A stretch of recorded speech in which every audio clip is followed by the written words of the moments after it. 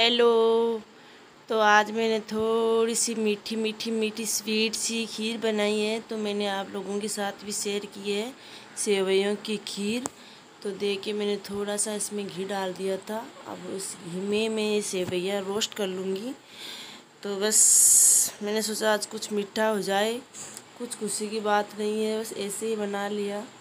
तो देखिए, मैं आपके साथ शेयर कर रही हूँ। बहुत अच्छी बनती है सेवैयों की खीर। तो मैं बस इसको रोस्ट कर लूँगी। ज़्यादा रोस्ट कर नहीं करना है। थोड़ा थोड़ा रोस्ट करना है। बस इतना सा देखो, इसका थोड़ा कलर चेंज हो गया है। तो बस इसको मैं एक बर्तन में निकाल दूँगी। और मैं इसमें दो या तीन गिलास अपने हिसाब से आप बना सकते हो। तो मैंने इसमें पानी थोड़ा सा ये डाल दिया है। और तब तक ये इसको थोड़ा गर्म करूँगी। ज़्यादा गर्म नहीं करना है, थोड़ा ही गर्म करना है। ज़्यादा गर्म करने से क्या होता है, जब हम मिल्क पाउडर डालेंगे तो वो उसकी गुट्ठी बन जाएगी। तो हमें थोड़ा सा गर्म पानी करना है और मिल्क को मैंने इसमें मिल्क पाउडर डाल दिया है।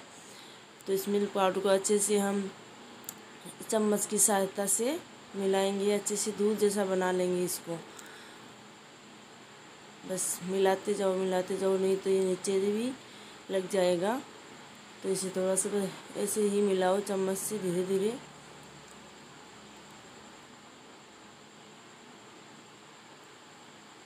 देखो दूध सा बन गया ना। बस हमें इसे दूध से ही बनाना है, दूध जैसा ही। तो मैंने आज ऐसे ही बना लिया है, इसको बहुत मन हुआ था खीर खाने का। तो देखिए पूरा दूध जैसा लग रहा है। उधर अंधेरा था उस गैस, उस साइड वाले गैस पे मैंने लगाया तो अंधेरा था तो उसको थोड़ा सा येलो कलर दिख रहा था और इधर देखो मैंने इस तरफ़ लगा दिया तो थोड़ा वाइट कलर लग रहा है और मैंने थोड़ा सा अलग बोल में निकाल दिया है दूध, क्योंकि इसमें हम मिलाएँगे कस्टर्ड पाउडर तो आज हम कस्टर्ड पाउडर की खीर बनाने वाले हैं। ऐसे भी हम बनाते हैं, लेकिन मैंने आज सोचा कुछ अलग बना के देखे, कैसा लगता है? तो बहुत टेस्टी लगी थी कस्टर्ड पाउडर की खीर, बहुत अच्छी बनी थी। तो मैंने वो अलग निकाल के रख दिया है। थोड़ा सा वो ठंडा होने के बाद में कस्टर्ड उसमें मिला के हम इसमें डाल देंगे। तो बस ये गर्म हो चुका है, मैंने इसमें सेवैयाँ डाल दी है। ये धीरे धीरे धीरे धीरे अपना अपना अपना अच्छा सा रूप ले लेगी, बहुत टेस्टी बने खीर। तो देखिए ये हो रही है।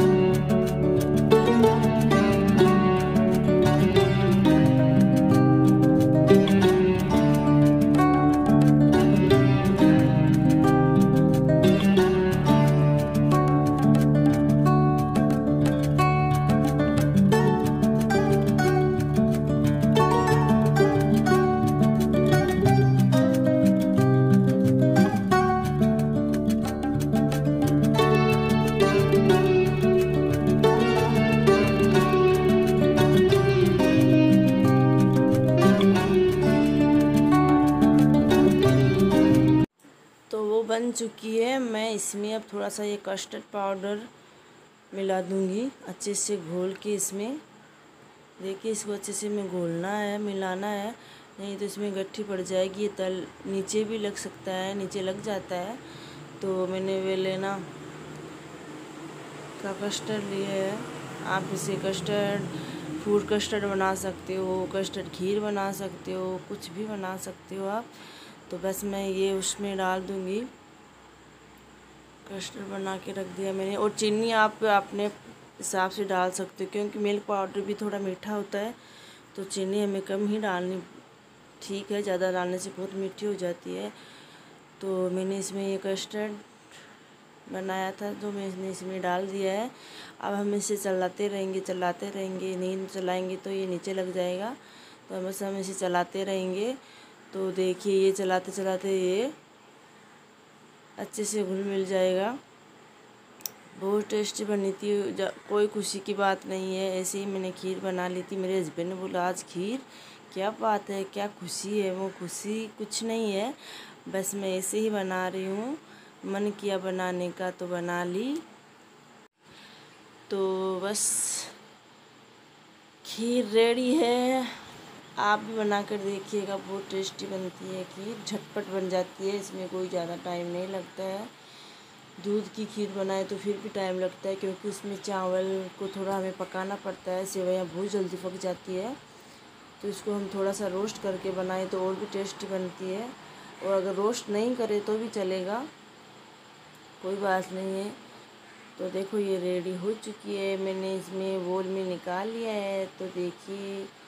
बहुत टेस्टी बनी आई है आप भी खा लीजिए और आपको वीडियो पसंद आए तो प्लीज़ लाइक कीजिएगा।